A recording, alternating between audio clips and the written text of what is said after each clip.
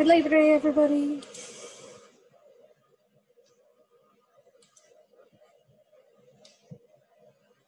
I'm going to give it just a minute for people to sign on since uh, it is a holiday and I know that this is the tough time of day for accessing the internet, as we've discovered.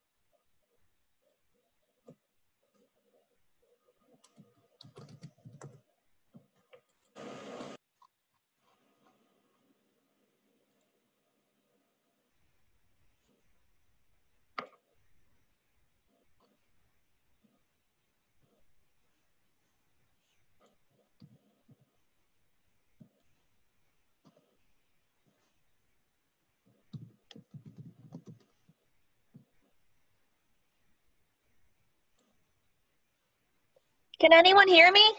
I can hear you. Okay. Yep. Just wanted to check test my microphone because it wasn't working earlier. oh, geez. Well, thanks for checking it. Thanks.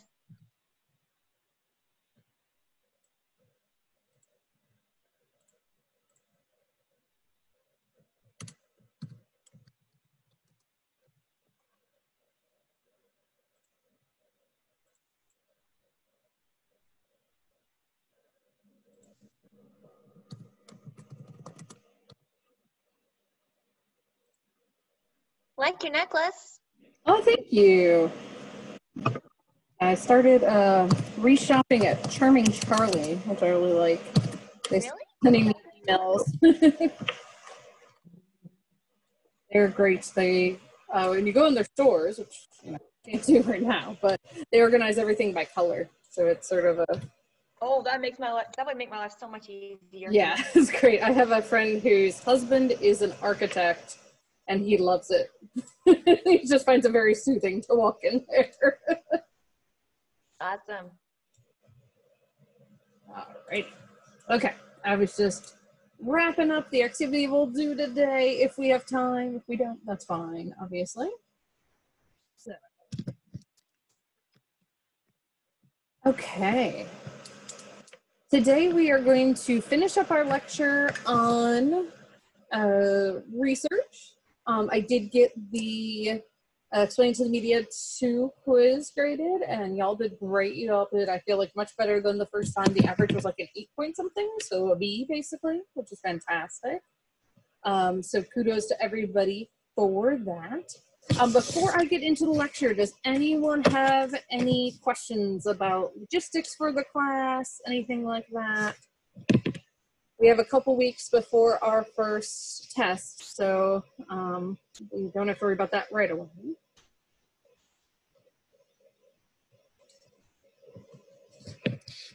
All right. Well, as people sign on, um, I am going to go ahead and share the slides. Um, and so we are going to uh, pick up where we left off. We had just finished talking about the experimental method, um, but we hadn't quite gotten to extensions of it. So I want to make sure that we give that uh, adequate time. So uh, we will get to that, um, go through the rest of our lecture, and then, like I said, if we have some time at the end, we'll do a group activity. If we don't, it's not the end of the world. Um, so I'm gonna go ahead and share screen. Make sure I'm sharing the right thing with you all. Yes. Okay. And I'm gonna go ahead and stand up over here.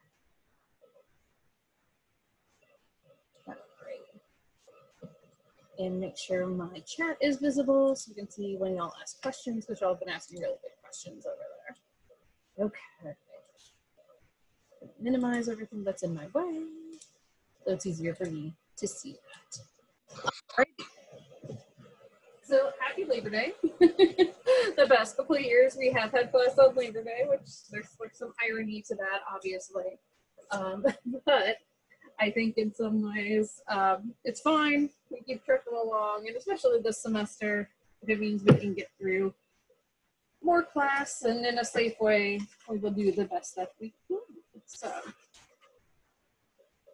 All right, so we had just talked about the experimental method and how we do random assignment and all that fun stuff. But there are several extensions of the experimental study, just as there are for the correlational study that we talked about last Wednesday.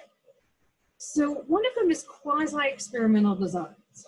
So quasi-experiments involve examining differences that may also actually exist in groups uh, without random assignment. So for example, you couldn't ethically cause someone to have a phobia, right? Nor would we really want to, obviously. like, there's no reason that as a psychologist we'd be like, yeah, let's make someone have a phobia. Uh, so, or you wouldn't want to randomly assign someone to be abused as a child. Um, so what you would do is you would compare these individuals with matched control subjects. So depending on your study, you match that on what's important. So obvious things like age, gender, uh, socioeconomic status, race, what have you. Um, for example, in my studies, I often want to ma- match on um, body weight, body mass index, um, just to make sure I'm not have people who have, are dissimilar weights in two different studies. So this is a way we can do things like look at gender, where again we can't randomly assign someone to have a certain gender identity, right? Um, so it's a way to do this ethically and also just logistically, right? Now, natural experiments are another example of something we would not want to manipulate as psychologists. So um, these occur when nature itself or a larger man-made phenomenon manipulate the independent variable. So the example I have here um, coming up at the end of this week is uh, September 11th. Uh, so I know many of you might not have been born or were really teeny right when September 11th happened. Um, I was in college, so it really did have a profound effect on me. I was a sophomore in college, um, and it was just horrific for everyone. Um, and so clearly, as psychologists, we would never want to cause something like that. But when something like that happens, we want to try to figure out how to help people in the midst of these type of crises. So um, psychologists will come in and do studies to try to figure out the best way to help people. Um, so it was a, of great interest in clinical concern to examine the effects of those who witnessed the attacks or who were victims of the attacks themselves. Uh, studies have examined predictors of developing PTSD, um, the effectiveness of therapy for those who were uh, who survived the attacks, and even such considerations as the higher incidence of alcoholism among Red Cross workers who helped after the attacks. So again, we would never like gleefully, you know, be excited about doing research after this, but we do it because it helps. So, for example, I have a friend from grad school who, after the tsunami in Japan uh, and the nuclear meltdown, uh, was he's not in the military, so he wasn't really deployed, but he was sent over there to do therapy uh, for people in the crisis. And a lot of what we learned from September 11th are the techniques that were used for uh, that scenario. So again, it's to help people more when unfortunately events like this happen.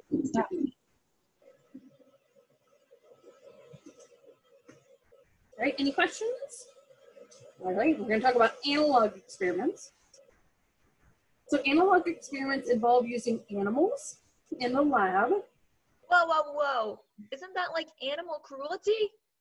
Well, it depends, right? This is a big, big issue, right? So it depends on what you're doing. So, for example, one of the most famous uh, experiments done in psychology is uh, Koko the ape, when we taught her sign language, right? But yeah, some people would argue that it is. Um, certainly, our neighbors at PETA in Norfolk would have a big problem with it. Uh, yeah, and so they study um, learning, particularly in animals. So they'll do things like uh, Skinner, who we talked about last week, taught uh, rats to press a lever to get food and then tried uh, to see what behaviors they would do by pressing the lever to get the food. But yeah, there are also experiments where they, uh, you know, track rats' brainwaves, and those can feel really gross and unethical, right? So, um, yes, this is very controversial. Uh, it's certainly nothing I've ever done, um, but is still done a lot in psychology. Sometimes they're done in other ways as well. So, for example, when we want to study neurons, we'll often study those of uh, the giant squid because, like the squid, they're giant. so it's easier to see things. Um, but yes, it is very problematic uh, in some cases, and in other cases, um, it's almost like enrichment for animals that are not in the wild anyway. So yeah, I'm not trying to sugarcoat it. There are definitely problematic things. I would never do this myself. Uh, but psychologists would argue that we get a lot of knowledge from it. So. All right, thank you. Mm-hmm.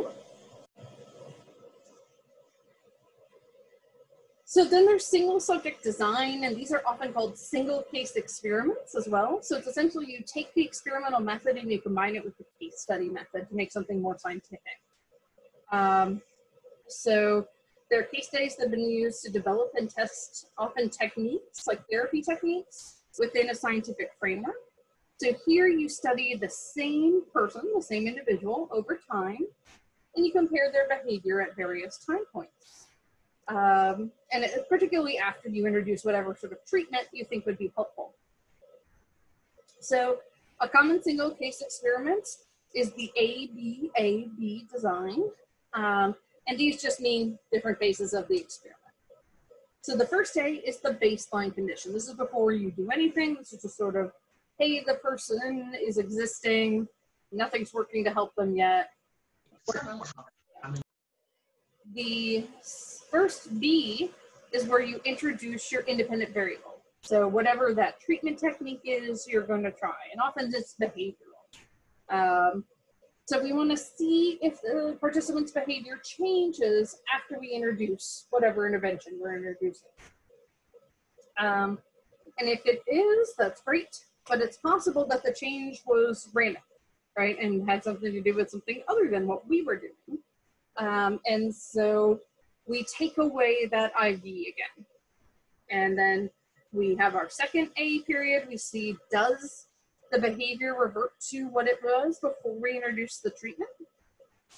And then we reintroduce our treatment, our technique, our independent variable at the second B and see if it happens. And if it's helpful, we don't take it away again. We just keep it there.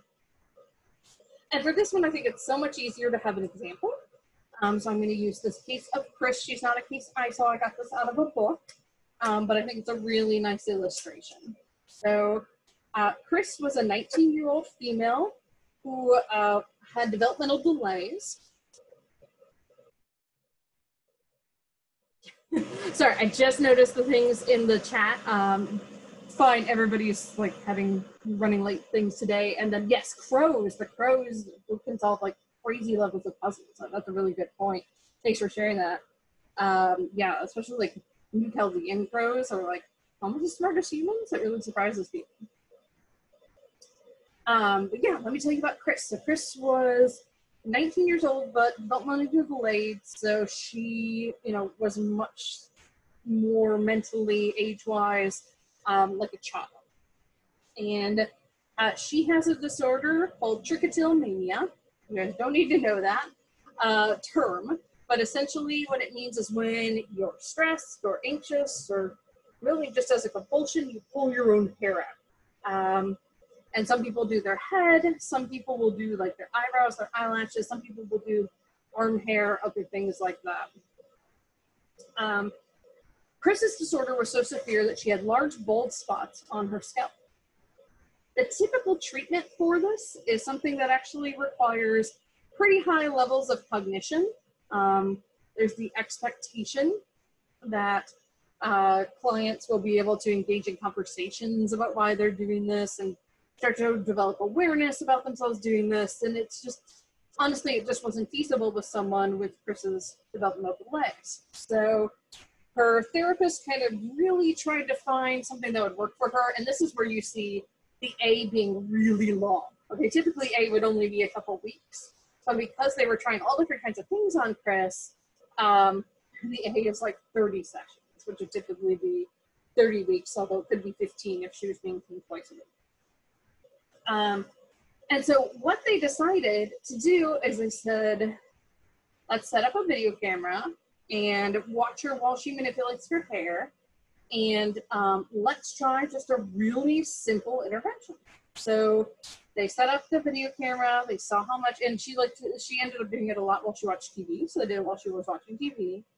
And then for their intervention that ended up working eventually, they uh, put two and a half pound just wrist weights on her wrists so that when she moved her arm, she was aware of it. Um, when they did that, all of her hair pulling stopped.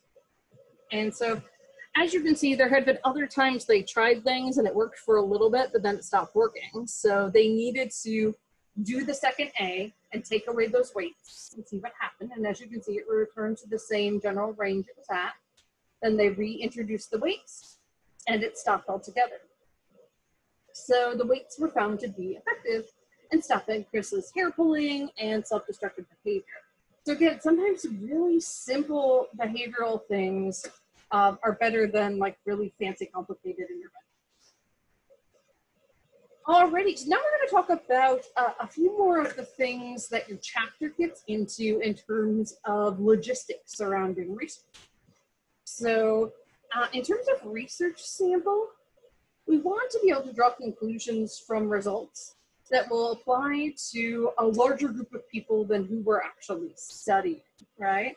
Um, this larger group is called the population. So in theory, if we're doing research on people who live in the US, the population would be the entire US population, right? There's no way we could ever do a study where we collect data from everyone. Just like expense-wise, feasibility-wise, it wouldn't happen. So instead, we use a smaller group called the sample.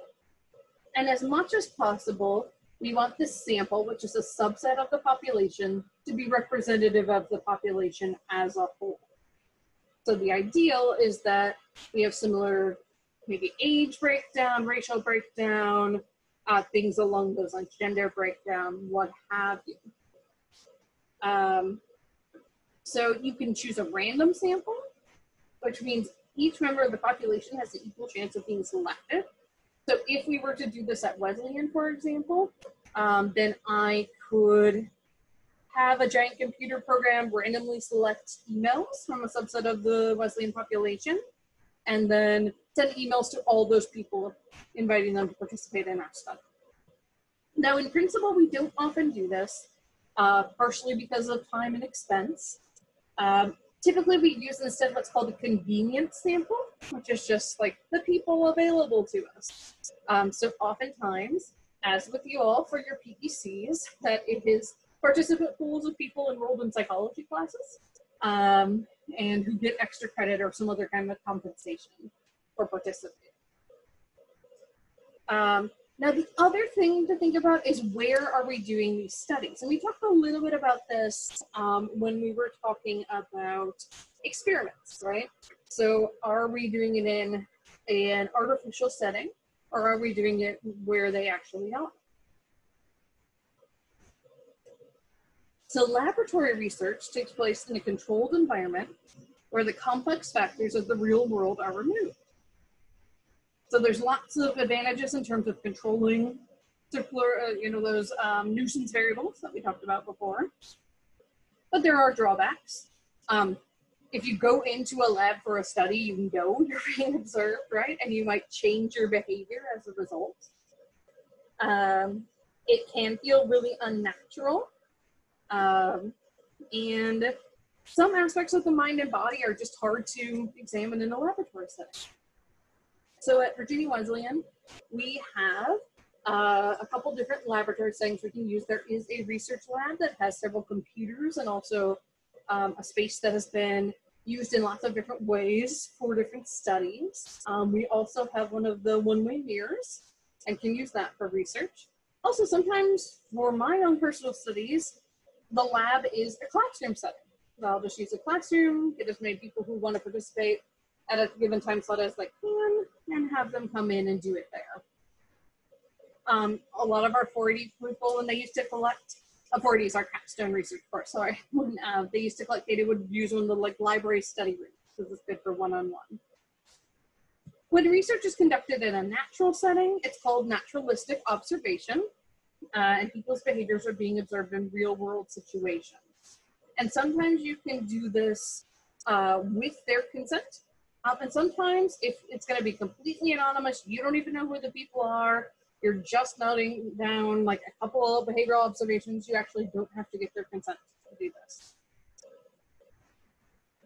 So I think most people did really well on this question on our quiz. So kudos on that. I'm guessing you got this drilled into you in high school math. Um, but descriptive statistics are used to describe and summarize data. Describe and summarize data. They're essentially showing us the big picture and helping us give our data meaning instead of being just a bunch of numbers. So um, there are three different measures of central tendency we tend to look at, and these show the overall characteristics of the data. So the measures of central tendency show the overall characteristics of the data. Um, the mean is the average of the data. You basically just add all the scores together and then divide it by the total number of people that you have. Pretty simple. The median uh, is the score that falls directly in the center of the data set.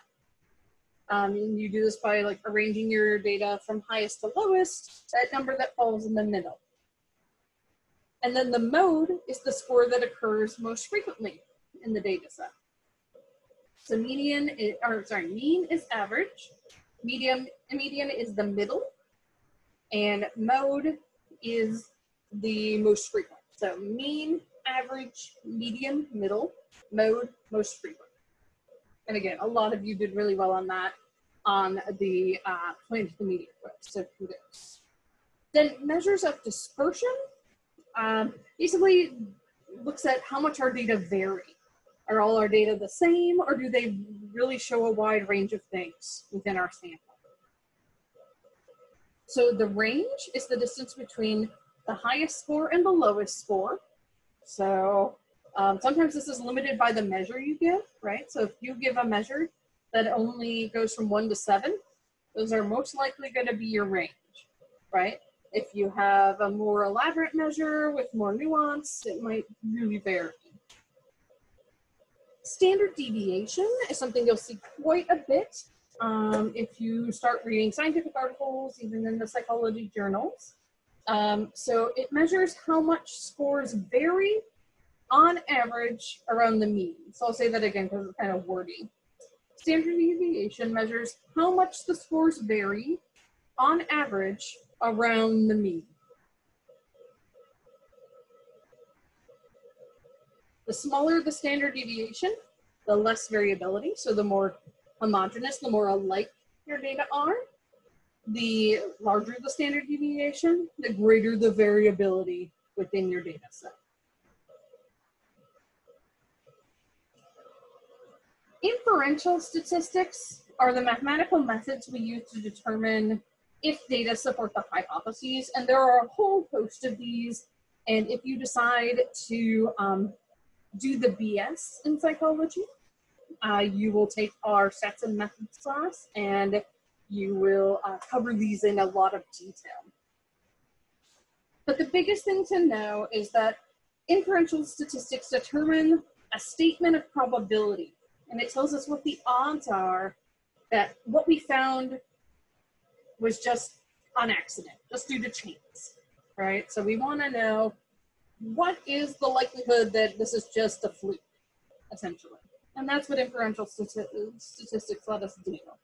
So in psychology, the significance level is set to 0.05 or 5%, which essentially means that the odds of this being just random or a fluke rather than something that actually exists are less than 5%. And so you'll often see this depicted as P, which is the probability, is less than 0.05. So basic thing, we do stats to tell us whether or not our hypotheses are supported with our data. Alrighty, and um, most of you did a good job with ethics as well. Um, if you decide to continue on to be a psych major, our capstone course is now uh, looking at ethics and professional issues across the many subfields of psychology. So I've been talking with our seniors about these issues. So uh, it's really important for psychologists, no matter which field they're in, what activities they're doing, to follow ethical procedures. It is, you know, not only just do it to be a good person, right? Do it to be professional, but also do it to maintain our positive relationship with the public. So, um, the real focus on this came about uh, partially after uh, World War II. And uh, part of what happened at concentration camps that people don't realize is that um, human subjects, they weren't participants, they didn't agree to participate, uh, were used as guinea pigs for medical research uh, without their consent and often without proper uh, you know, anesthesia, things along this line. Um, we'd also see a history of this for enslaved people, where, for example, new gynecological procedures would be practiced on slave women without their consent and without anesthesia. So obviously problematic, obviously something that there needed to be something done about. Um, so ethical guidelines were set up and researchers have an obligation to the research participant to anticipate issues in their study, to minimize those as much as they can, and to inform participants of possible side effects or consequences of participating in their study. So um, one of the most important things that helps to maintain this is what's called the Institutional Review Board. Um, so the IRB is how this is usually abbreviated. And this is a board of faculty and sometimes also community members. Like uh, some IRBs will have a religious professional on them, for example, um, who review all of the proposals for research to be done at that institution. So for example, Virginia Wesleyan has one. The psychology department has spearheaded it because we do the most research on campus with human participants. Um, and so we review every protocol, whether it's by a faculty member or by a student, and we make sure that they're following all the ethical guidelines they need to follow and that there's not going to be harm done to their participants by doing this. Part of that, um, and all these ethics that I'm going to talk about were developed by the American Psychological Association, but most subfields within mental health have similar uh, guidelines. So, for example, there's one for counseling psychologists as well that's fairly similar. So, researchers must obtain what's called informed consent from participants prior to the start of the experiment or whatever kind of study they're doing. So, participants have to know if there are any risks, what will be involved. So, are they going to fill out questionnaires or are they going to have to like put on a chicken costume and dance around, right? They need to know these things. Um, and if there are any risks, they need to know those. And if certain activities will be part of this, sometimes the informed consent becomes more elaborate. So, for example, I've been doing a study for several years where I have participants take pictures and post them on social media. They actually have to sign a separate consent line uh, to agree to have their picture taken and posted. So, again, just trying to protect the participants and they can say no at any point. And that's always part of the informed consent too, is that at any point during the process, they can say, no, I don't want to do this anymore and they can leave. Um, and so that's really important. Researchers are also responsible for the confidentiality of the data collected. So, you know, they need to de-identify it. Oftentimes, you'll be totally anonymous if it's an online survey. They won't even collect your information uh, personal information with that. Um, other times we'll de-identify it. Like in my studies, I often just assign each participant a number, uh, and then their data is only associated with that number, not their name. Um, you don't want to, you know, like leave data just lying around with your laptop open and your data set open, or like the papers just strewn out on a desk in the library, right? So you have to be careful about confidentiality. The researcher is also responsible for what's called a debriefing. This means participants are informed of the experiment's true purpose and the methods that were used in the experiment. And this is partially, again, for ethical reasons, to make sure the participant explain why they just went through that. Um, but in academic settings, it's also for educational purposes, so that you all understand uh, basic principles about psychological research. So um, oftentimes, if you do an online study, this will just be the last page of the survey, and it will include things like uh, contact information for the counseling center in case anything distressed you while taking the survey.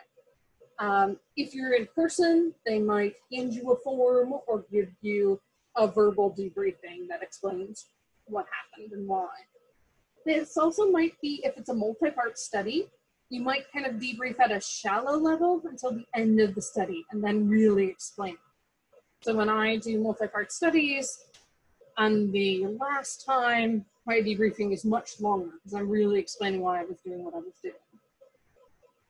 Deception is allowed in an experiment if telling participants in advance about what you're doing um, could potentially alter their behavior and invalidate the results of the experiment. So obviously you can do deception in really sketchy and unethical ways. And so we're very careful about using it. Um, but just to give you an example of uh, a study in my subfield. So one study about body image that they did, they had people try on either a sweater or a swimsuit. And then they said, and they told them it was for a marketing study. And then they said, oh, hey, well, while you have that on, can you help us with this other study too and fill out these math problems? And in fact, it was just to see if like the people in the swimsuits would get so distracted they wouldn't do as well on the math tests. And in the fact, that's what they found. But if they told them, like, hey, since you're in a swimsuit, we think you might get distracted, so we're going to give you this math test. Um, you know, it would have kind of ruined the integrity of the So, um, and then they had to carefully explain to people afterwards. The other important part of debriefing and deception is if you do anything that could be potentially harmful, you have to undo it. So, like when we were talking about how you can have people read statements or listen to music that might make them feel depressed, you've got to undo that at the end of the study you've got to make sure they leave your lab feeling okay.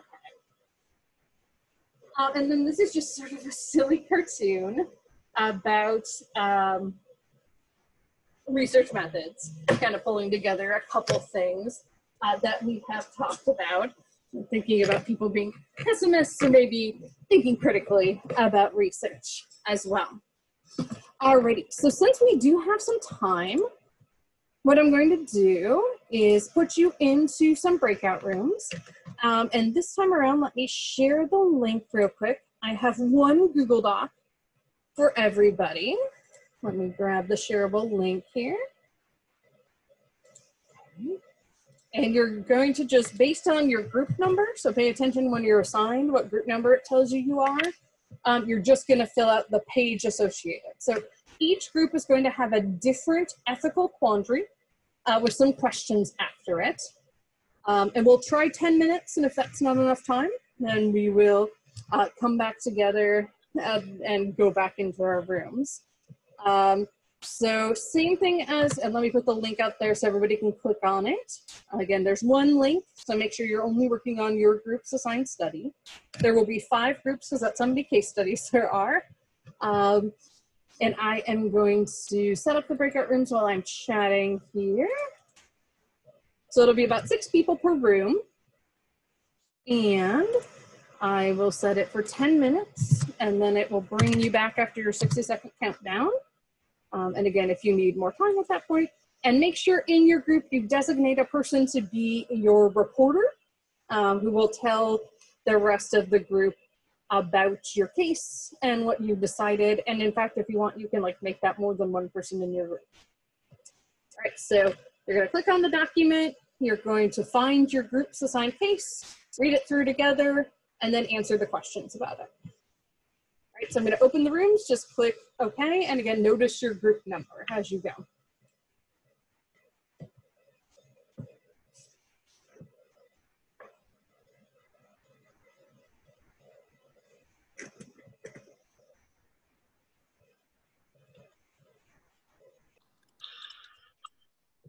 Welcome back. like there are some people who are finishing up, so they'll be here in about 30 seconds or so.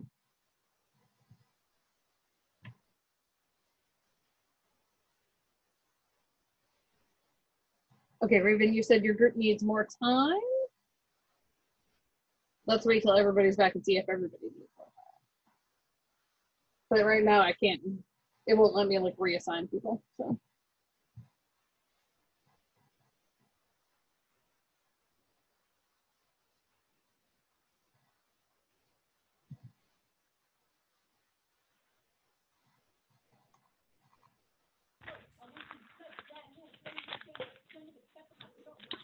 I know there's a couple groups that need more time.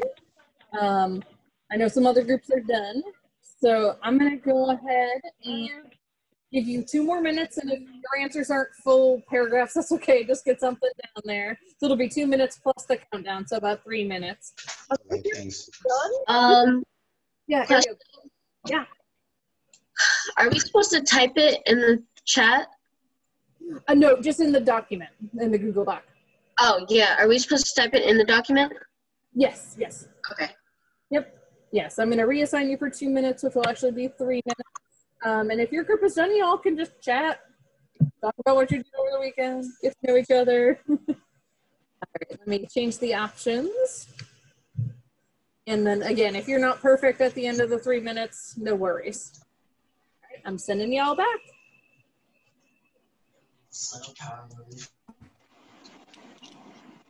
Yeah, well, I guess you can just ground rules to follow, something like that. Welcome back.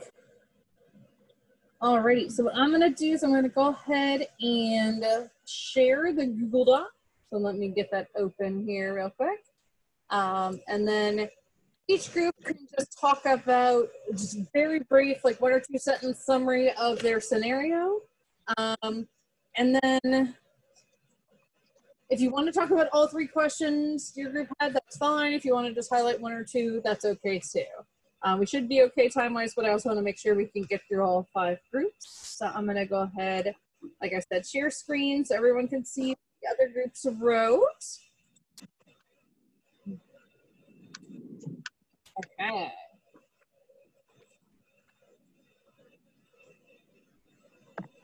So group one, whoever your designated person is, go ahead and again, brief summary of your scenario and then um, walk us through either all the questions or just one or two.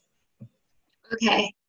Um, Jennifer thinks that because she wants to be a counselor, she doesn't really need research or any statistics or anything. She doesn't think that social workers should take research classes.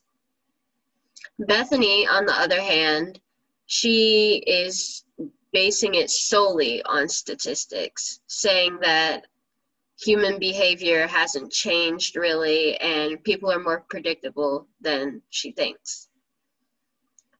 Um, Bethany and Jennifer differ because, you know, Jennifer thinks that people are individuals, but Bethany is based off statistics. Um, I personally agree with both of them at the same time. I think you need half and half. Um, Jennifer's take is eth- ethically troubling because um, I think hers is ethically troubling because she's just saying that people are individuals, but what about if another person has that problem? She's not taking the time to research about, you know, other people who might help her with the problem or help her patient with the problem. Um, Bethany's is ethically troubling because she's just basing it off statistics. She's not worrying about whether the person has maybe genes or someone who also had that illness in her family or what she as an individual has been through to get her to the to where she is now and That's it. Yeah, great job. I think you hit on everything. Um, the only other thing they say in like the book's answers to this, and I think kind of hinted at this, is that if you're research, you don't know like what type of research, uh, what type of therapy works, right? And there is good research about that. So excellent job, group one. All right, let's go to group two. Okay, so our scenario was essentially um, Dr. Franklin. Um, she had a treatment that she used for over 100 patients to help with panic attacks, and then she decided to market it for other therapists to use, and they wanted their money back because her treatment process didn't work for their patients. So, for the first question, um, how would you explain that Dr. Franklin had so much success and the other and the others experienced failure? uh, our response was one explanation for the lack of success was how Dr. Franklin led her patients through the technique, as this could be a differentiating factor in how successful treatment was. Uh, okay, reliability analysts would have used different therapists to lead the patient through the technique to see if having different therapists caused the patient to have reduced panic attacks, related feelings, or emotions. This way, they could rule out whether Dr. Franklin was the cause of the technique success or if it was the technique itself that had successful uh, that was successful, regardless of the therapist performing it. For the second question, uh, from an ethical point of view, why should Dr. Franklin have done a reliability analysis before marketing her treatment? And Elijah put, the success of her treatment could be completely dependent on something she did as an individual, so in order to ensure the validity of her therapy, she should have scripted her sessions which she did, and had another psychologist go through the same process with one of her own patients as well as another unrelated patient. If the results remain the same, then she would have been justified in selling it. And hold on. Okay. Yeah, I mean, and for the yeah. therapists, uh, uh, sorry, jump in real quick, then let's go. there are some therapists who are just kind of magic, right? And mm-hmm. like clients get better no, almost no matter what they're doing, which is great, but doesn't apply to other therapists. Yeah. And for the third one, keeping in mind that she never gave any false information to anyone who purchased her treatment program, do you think Dr. Franklin should give them a refund? Why or why not? And we put Dr. Franklin should not be responsible for refunding any of their money because she did have success and many people did think her treatment worked for them. For 10 years, she found out that it reduced her clients' manic attacks. She did not give false information, so she did nothing ethically wrong. Yeah, and this becomes an issue of legality, which is different than ethics right? So yeah, I think so. Alrighty, group three. Okay, so ours is about a woman named Karen, and she's working with this doctor, and they've been researching different um, flavors that mice like and don't like, and how that kind of like um, coincides with like emotion and reactions. And um, basically, she was reviewing this work before they went and presented it, and saw that um, a number had been put in about 270 and it was actually 240 but she was concerned about um, whether she should approach the doctor about her mistake and how that would affect their um, data especially since they were having it put into an ad- academic journal so um, for no- the first question, I said that she would be scared to tell the doctor, um, just either scared or embarrassed or worried what he might do. Maybe she would lose her job for making a mistake like that, especially for something that they were going to publish. Um, the second question, um, some negative consequences that might happen, just kind of like what I said, she might um, feel personally ethically um, wrong and struggle like if she kept that with her that she knew that she didn't tell him. And that could also mess with her mentality um, later maybe during the presentation. And then also she would be um, possibly fired or in the wrong of some sort and have that um, put out there during it. And then finally um, a negative consequence that will happen if they both don't tell the journal editor. If someone had found out, obviously they would lose their um, their spot in that academic journal.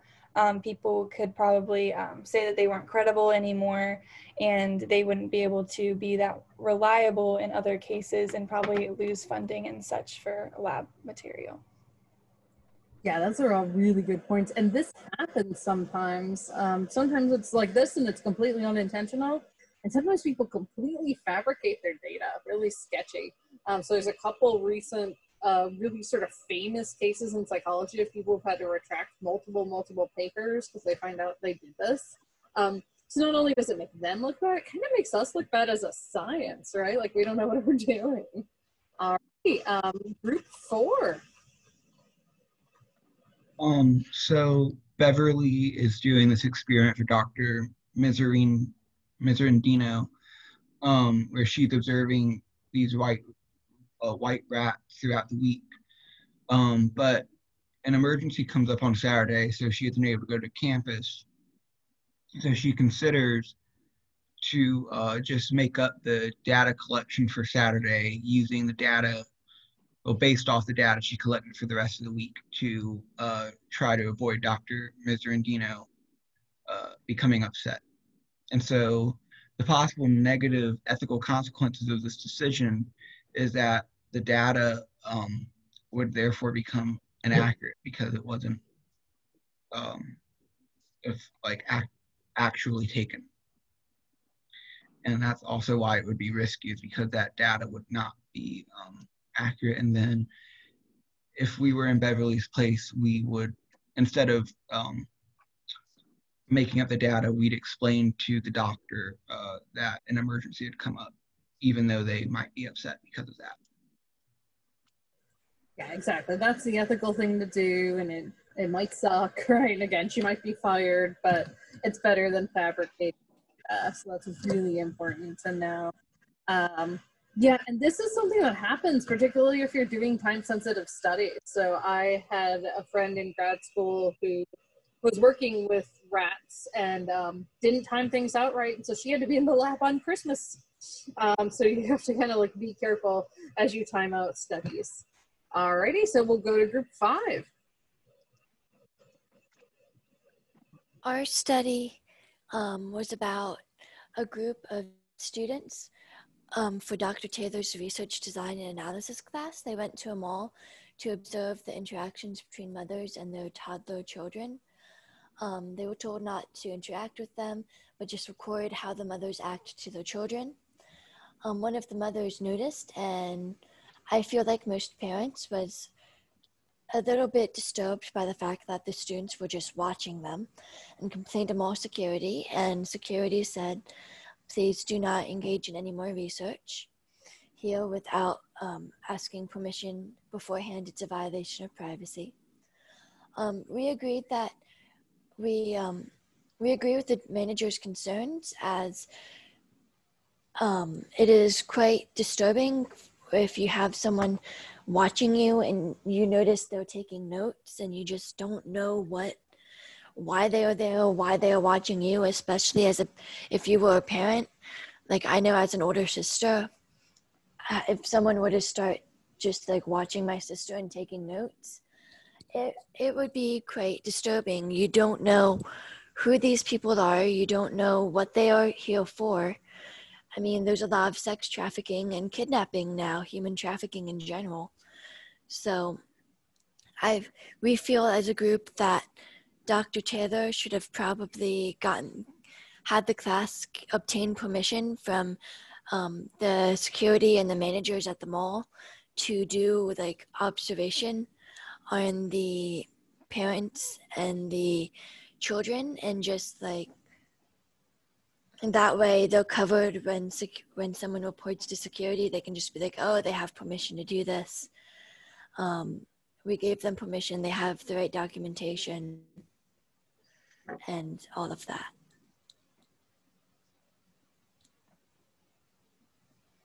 Mm, Upsify and mute. I said, great, good job, everybody. So I mean, here's a scenario where, yeah, exactly like Caitlin was saying, like you can just come off like a creeper, right? And you don't want to do that. um, so yeah, letting someone know that this is going to happen. So when we do these types of studies on campus, it's where we do purely observational studies. But we let's I know a couple years ago someone did one in the grill and they like let Jason know. So he knew what was going on and things like that. Um, so I think that uh, you know it's really important to yeah, act ethically, make sure people know what's going on. All right, well, we wrapped up early today, so I'm going to let you all go. Um, Simba came to say goodbye, so I'll get him over here. Oh, he's so cute. He really is. he's in trouble because he's like, he's sweet, but he's four, but acts like he's a tiny kitten, and that doesn't always work. Um, but everybody have a good Labor Day uh, as much as you can. Stay safe, and I will see you on Wednesday. Bye. Bye.